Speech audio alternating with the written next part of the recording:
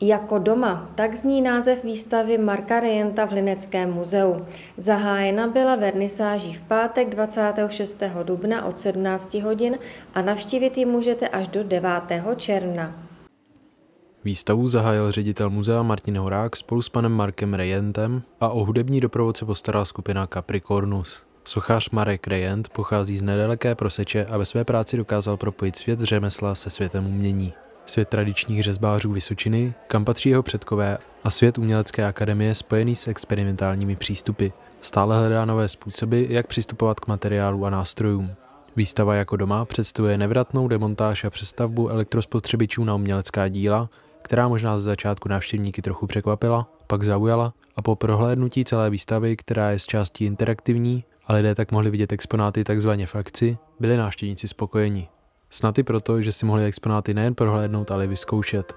Domácí spotřebiče přepracoval Marek Rien do několika sérií zvířátek, jako vysokou lesní zvěř nebo parazity a drobný hmyz.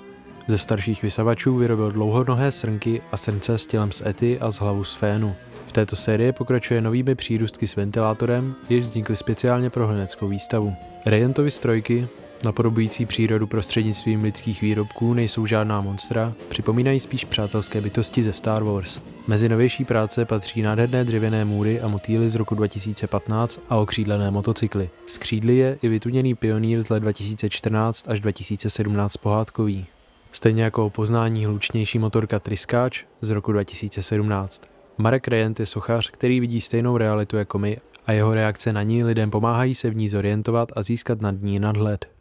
Díky kutilským kombinacím předmětů, které důvěrně známe z každodenního používání a díky svému humanistickému pohledu na svět dokáže tvorba Marka Rienta vyvolat úsměv. Zahájení výstavy se podařilo, tradičně nechybělo ani bohaté občerstvení a i vy můžete zavítat do muzea od úterý do pátku vždy od 9 do 12 a od 13 do 16 hodin a o víkendu od 10 do 12 a od 13 do 16 hodin až do neděle 9.